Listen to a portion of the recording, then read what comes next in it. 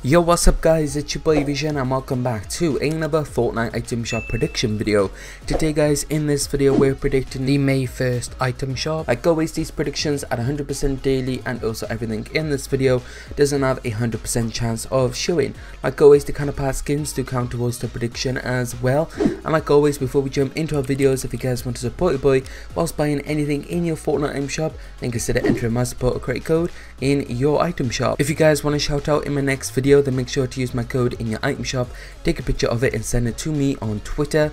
Anyway links to my twitter somewhere in the description and at the top of the comment section as well. Anyway let's jump into the prediction video with all the recently updated fortnite cosmetics that now can return to the fortnite item shop and also all the newly added cosmetics in the recent update to fortnite as well. Anyway let's move on to highly chances skins so moving on to our first skin we have moxie seen 32 days ago she's on an 85 percent chance. Moving on we have flapjackie last seen 44 days ago ago, she's on a 75% chance. Next up is Dozer, last seen 33 days ago, he's on a 75% chance. And is going to be Payback, last seen 38 days ago, she's on a 75% chance as well.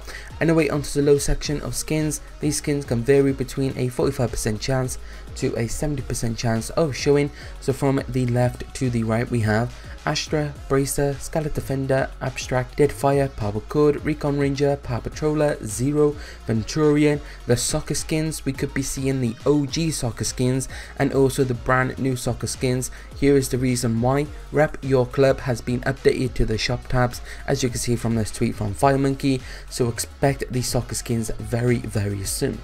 Anyway, next up we have Birdie, Siren, Flamingo, Slumber, Oblivion, Supersonic Skins, Oppressor, Dark Omen, Cloak Shadow, the Brat Skin, Spider Knight and also Slurpy Anyway guys, on to the last part of the prediction video is the emote section. Like always, the percentage for each emote is going to be above the emote in the background footage.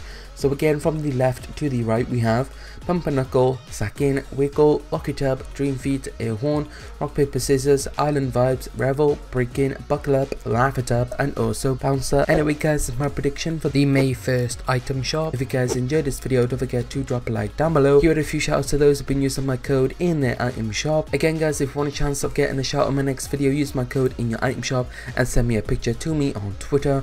But thanks for the support, thanks for watching this video, and I'll see you guys in my next video.